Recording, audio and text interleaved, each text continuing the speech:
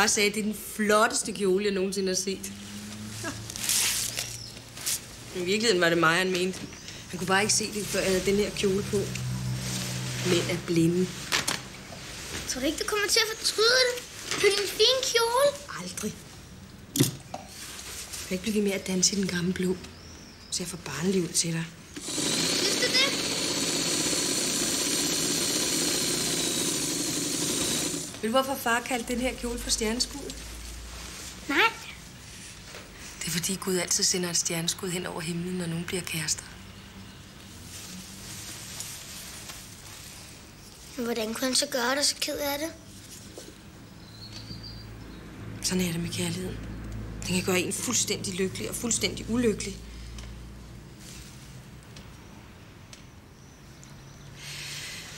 Men dengang elskede jeg ham jo. Så vil jeg i hvert fald ikke have noget med kærlighed at gøre. Nu skal du ikke tænke på far og på mig. Du skal jo leve dit eget liv med dine egne kærester. Det er jo det, der er meningen med det hele.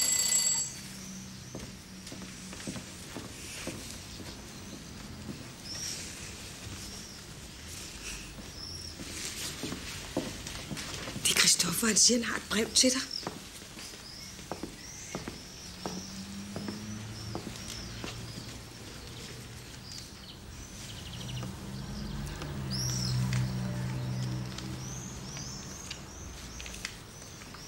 Ida, kan vi ikke lige snakke sammen? Nej, bliv her. Det er den flotteste kjole, jeg nogensinde har set. Skal du have den på i aften? Hvis det er mig, du mener, så skal du altså godt spare dig. Jo.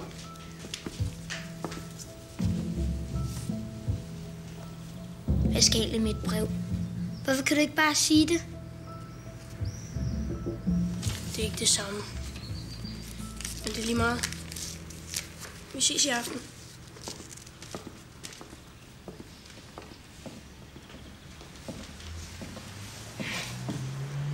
Han er altså bare så dejlig ham, Christoffer. Men bare nok er nok. Så jeg vil ikke danse i den her kjole. Er den gamle blå? Jeg går på stranden med Clara.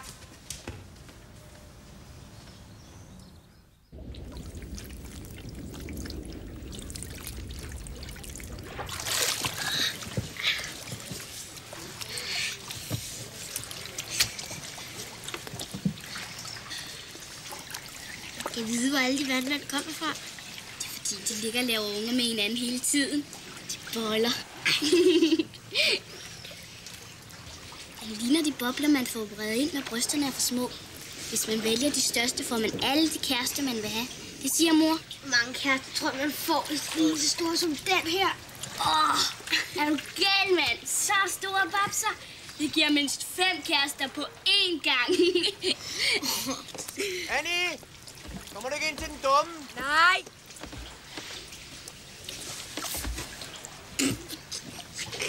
Så er hun den mindst 10 kærester. Annie! Skal vi ikke gå ind i skyggen? Og skygge lige herinde. Skal vi ikke gå ind sammen? I skyggen? Hold nu kæft. Tænk på noget andet at bruge hovedet bare en gang imellem, ikke?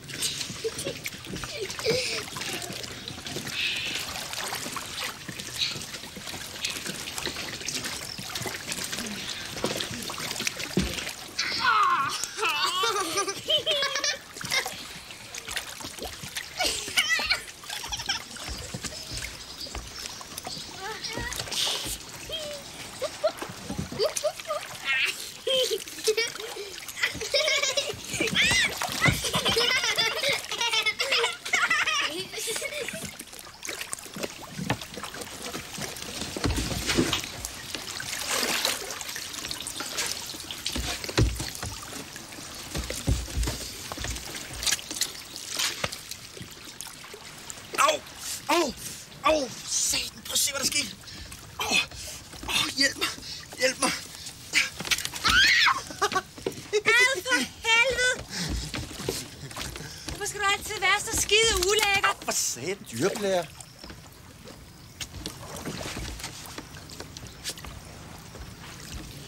et tidspunkt bliver man rigtig træt af at være kæreste med en, der synes, man er ulækker.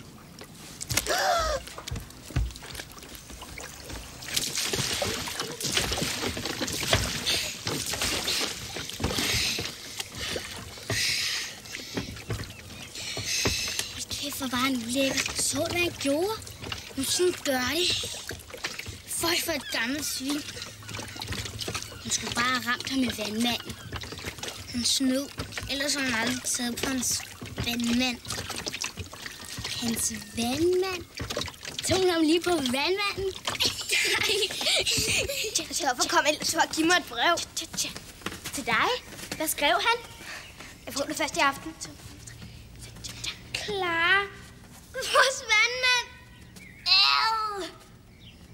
Det er mandens vandmand.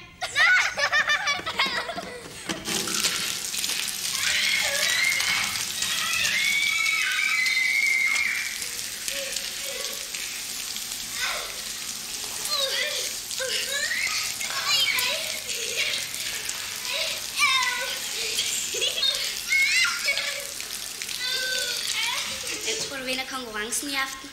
Det ved jeg ikke. Jeg tror, det bliver dig. Kan lige så godt blive dig, Clara. Du er lige god til at danse. Ja. Men du danser jo med Christoffer. Tror du, det er et kærestebrev? Det skulle lige meget med Han er bare en ulækker Okinok. Kom, vi går ned og finder det brev.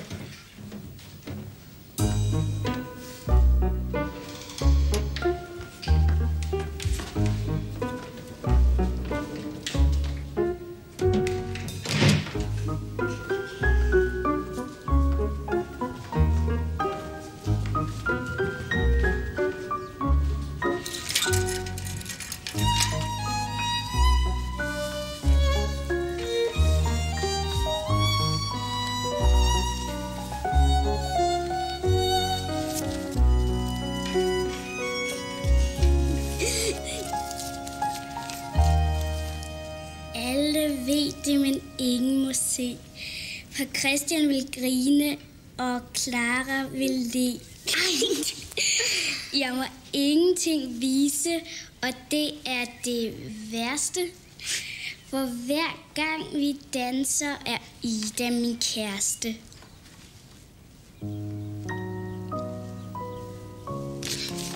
For hver gang vi danser, er Ida min kæreste.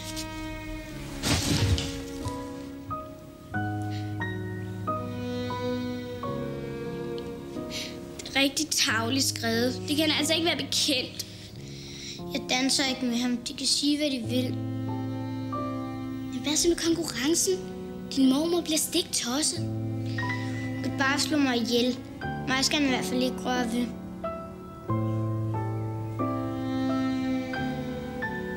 Ida, jeg har det. Vi gemmer hans tøj, så kan han ikke deltage i konkurrencen. Og det gælder alt. Arbejde, mad, kærester. Hvordan tror du ellers, mor lærte at synge? Hvad? Hej Camilla. Tror du pokker, du ikke har en fast dansepartner?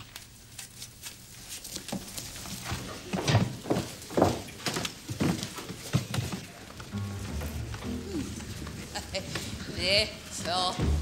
20. Allerhøjst 20. Så se på de hænder her. Så må den da indrømme, det er 40 år siden. Ida, hvor skal I hen? Kom lige. I må hilse på vores dygtige dommer. Det er Clara Ja, fortryllende. og en lille Ida der er mit barnebarn. Meget fortryllende. Det bliver nok en af de to, der vinder den flotte pokal. Ida danser med en, en helt vidunderlig dreng. Christoffer, Ja, ja. Skønhed og vidunderlige dansepartnere hører til familien. Må jeg se? Fuldstændig som din mormors hænder. ja, ja. Ja, for 40 år siden. Ja, Ja, det var jo i Berlin. vi skulle bare have fortsat. så kunne vi have vundet den helt store pokal.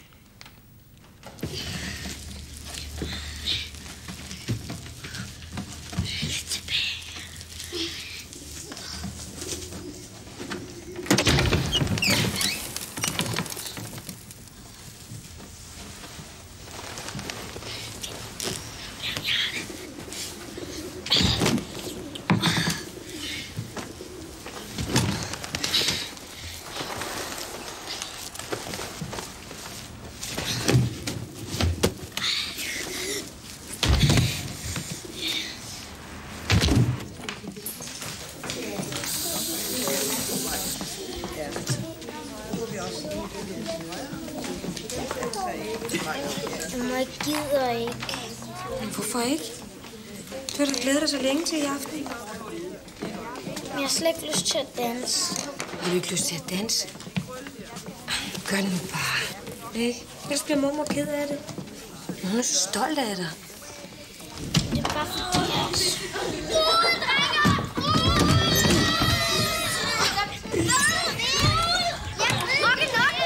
Hvad så? At vi skal låne en kjole?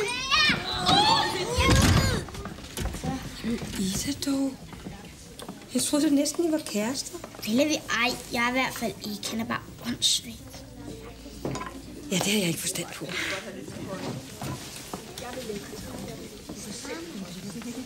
Husk, mormor følger dig hjem.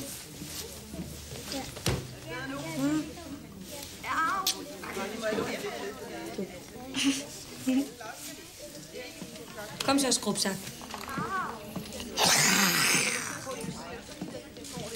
Du går da vel ikke? Ida vinder måske pokalen. Der er fri dans og fest bagefter. Det er da også lige noget for skrubsak. Og så har der aldrig nogensinde været så mange nydelige herrer til stede. Åh, mor, jeg kan altså ikke klare de der enkeballer. Enkeballer. Du er da ikke nogen mand, så vidt jeg ved. Tag dig en sving om. Dansen kan give dig hvem som helst, du vil have. Kan man virkelig få lige, hvem man vil have? Se, hvis man tror, at de der kun var mine dansepartnere, så er man altså meget naiv. For ved I hvad? Kærester er det bedste i verden. Og den, der danser bedst, kan selv bestemme, hvem hun vil have. Ja. Kom så, piger. Så stiller vi op. Indgangsmarsch.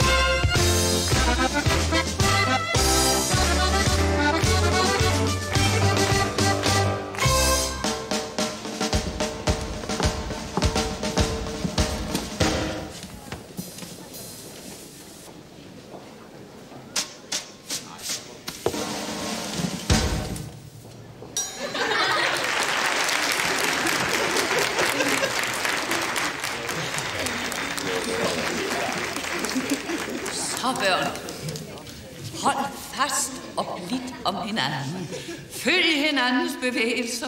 Mærk rytmen. Giv hen.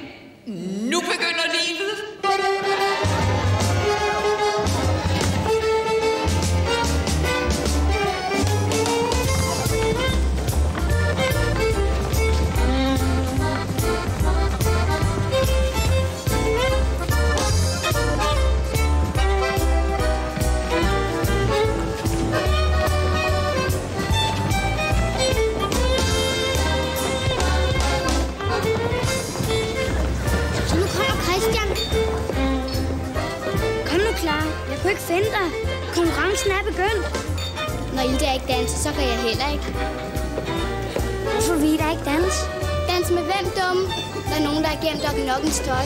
Han siger, det er bare blevet væk. Var måske ikke lige det, jeg sagde? Er blevet døv? Så vinder vi to pokalen. Kom, danse, danse. Du skal have en ordentlig los i røven. Du skal nej. Skrid, idiot. Du kan få et los i vandmanden.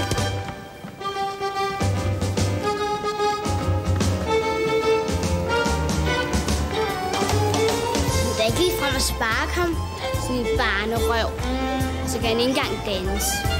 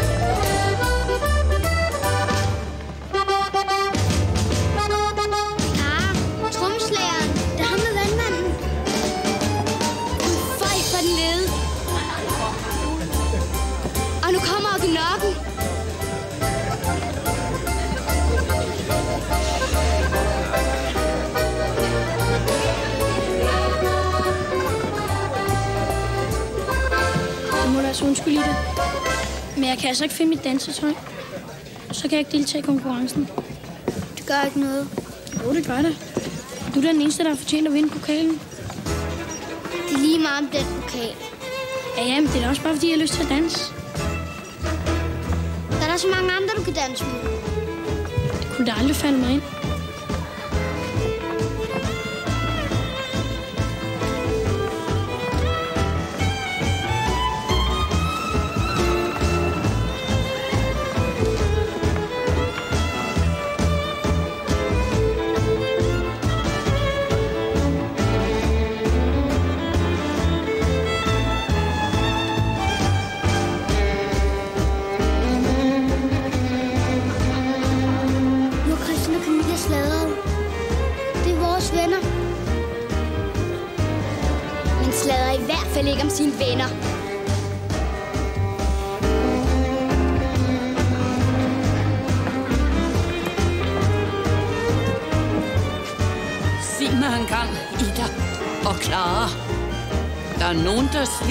At det er jer to, der har gemt Christoffers tøj, så han ikke kan være med i konkurrencen.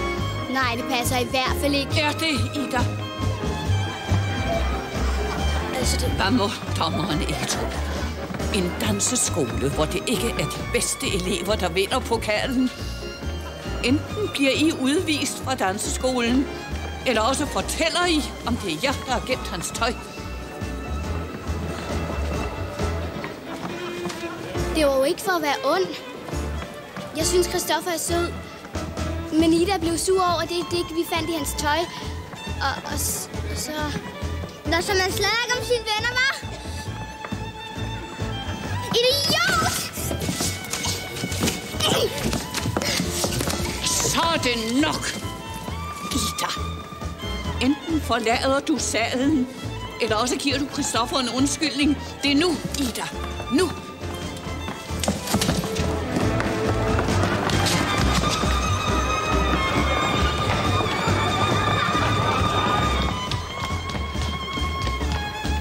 Klar. Så er det op til dig at gøre skaden god igen.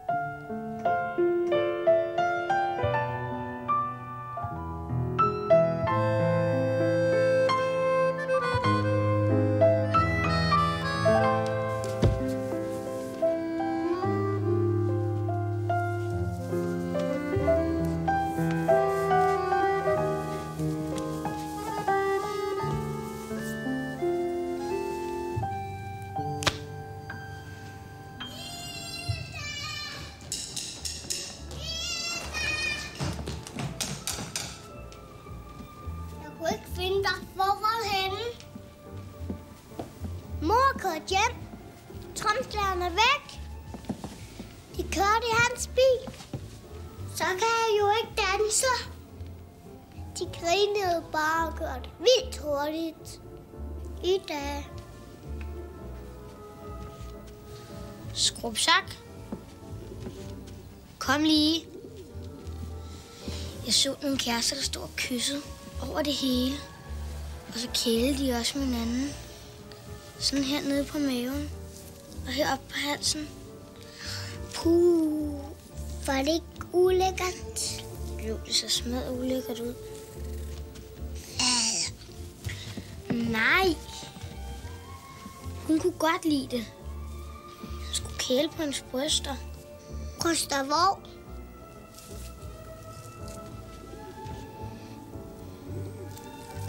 Nej, det er ulækkert, ikke? Nej, nu skulle du ikke være så barnlig. Han tog også hendes trusser af.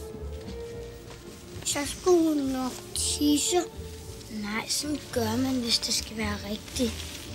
Nå, for søren.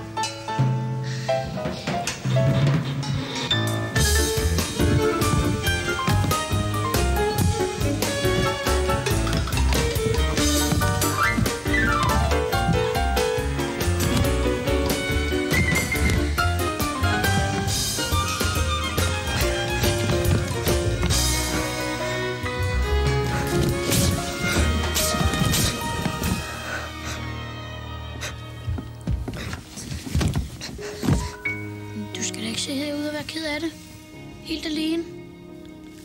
Det er der heller ikke. Hvad skulle jeg være ked af? Er du gemme mit tøj, så vi ikke vandt pokalen? Det var dig, der begyndte med det, du skrev i det der digt. Du ved da godt, det var sødt. Det var jo sådan et kærestedigt. Og hvad så? Vi er overhovedet ikke kærester. Det er vi lige om lidt. Kom så med det svineri! Jeg vil bare være i fred og være mig selv. Du ligger jo og fryser. Her.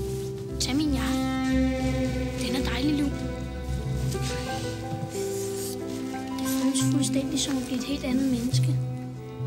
Jeg vil, jeg vil bare være mig selv. Du kan kun blive dig selv. Som rigtig dig selv, hvis du kysser mig.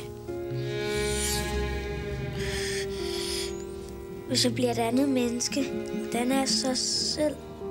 Du bliver så sød, så sød. For så er du min kæreste. Men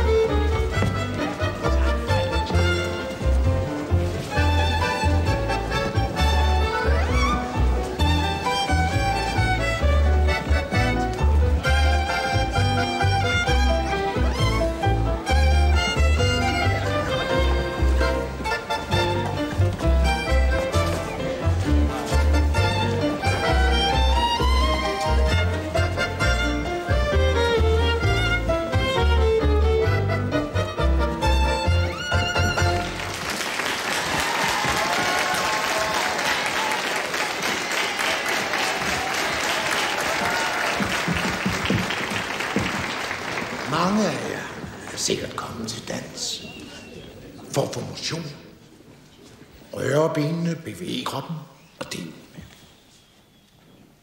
Men hvis det ikke er arme og ben, men selve hjertet, som rører sig, så stråler man som et stjerneskud.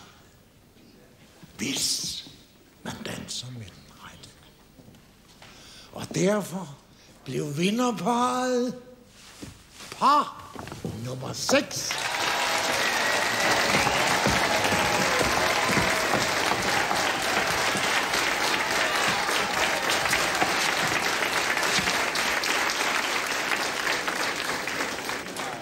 Må jeg så få æren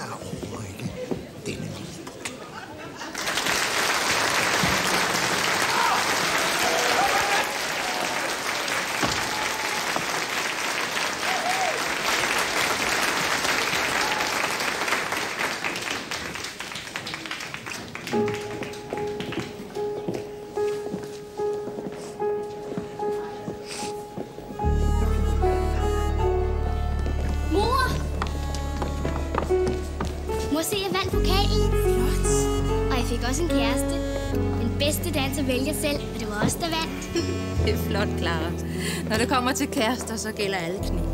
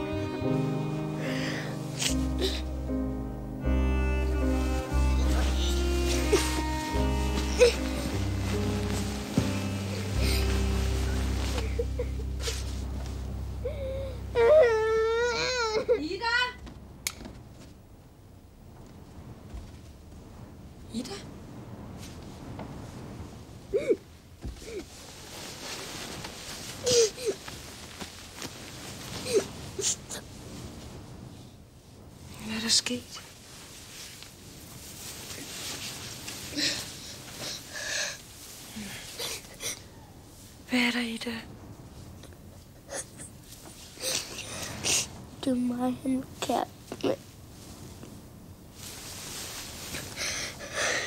Hvem er du kærester med? Stoffer. Hvorfor er hun så pludselig kæreste med Clara? Det er nok ikke nok. Sådan noget bestemmer man ikke selv. Det kan man ikke vide. Jeg ved det. Jeg så det selv i det, han har skrevet. Det var også, der var kærester.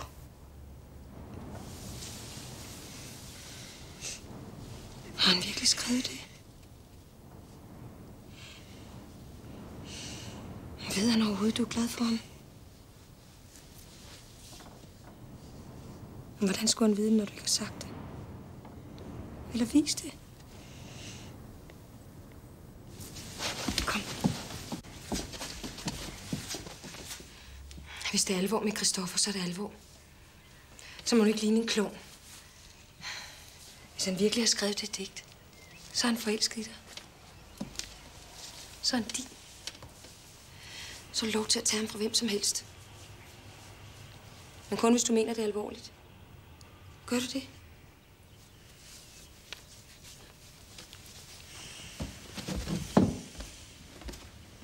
Du er ikke noget med vandmænd mærkelige steder, vel? Nej, vandmænd, de er kun til besvær indtil i dag. Du skal ikke vinde på ham. Der sker ingenting, hvis du ikke selv gør noget. Du skal ikke undskylde over for Clara. Du skal kun stole på det digt, Christoffer skrev. Er du med? Hvad hvis han nu virkelig er blevet kæreste med Clara? Det tror jeg ikke, han er. Du må tage chancen. Vil du have ham, eller hvad? Jeg vil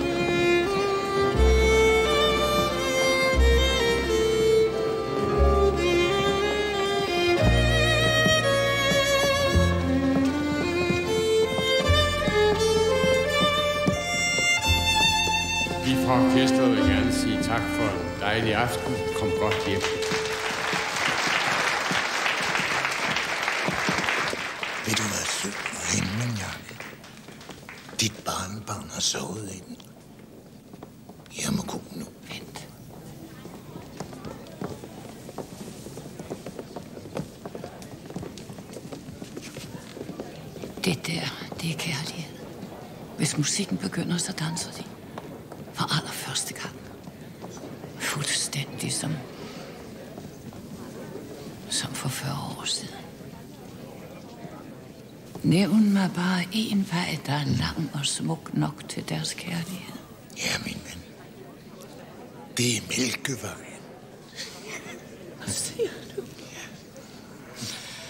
Åh, bare vi havde den trommeslager. Det har Ida fortjent. Alle smukke piger har fortjent en trommeslager.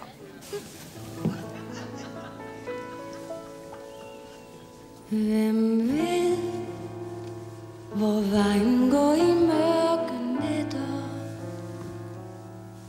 Hvem ved, om det